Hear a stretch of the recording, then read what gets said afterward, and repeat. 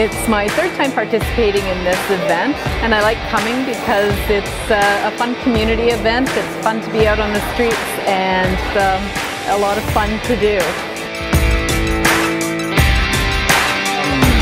I love painting here in Steveston. I love the water.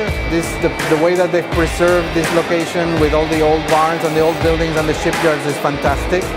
And the town itself has some really beautiful uh, kind of you know, small town Canadian uh, or West Coast rather uh, feel to them. Uh, but in general, in uh, British Columbia, there's like no lack of subject matter. It's amazing. There's great artists that come here, uh, so I really loved it.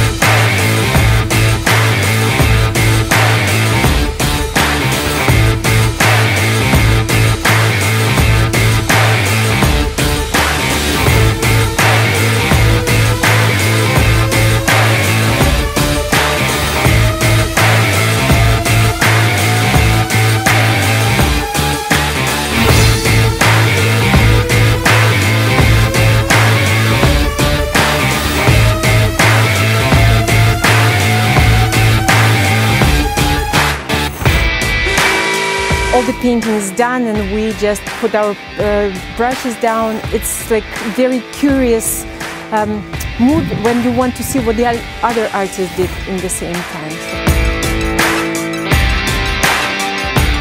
Two years ago, I had first prize. Yeah, and I got that cup, you know? Yeah, yeah, yeah. Yeah, yeah. It's got my name on. The winner of the Dan Gray Cup in the Masters category this year goes to Broderick Wong.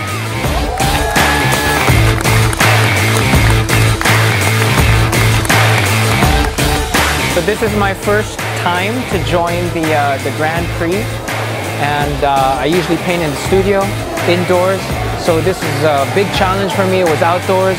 I was painting much bigger than I was used to and uh, I was just really shocked and very happy that uh, I won. Yeah.